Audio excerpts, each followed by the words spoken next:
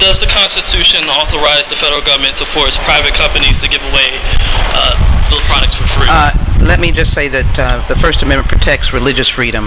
The President's compromise was accepted by Catholic Charities.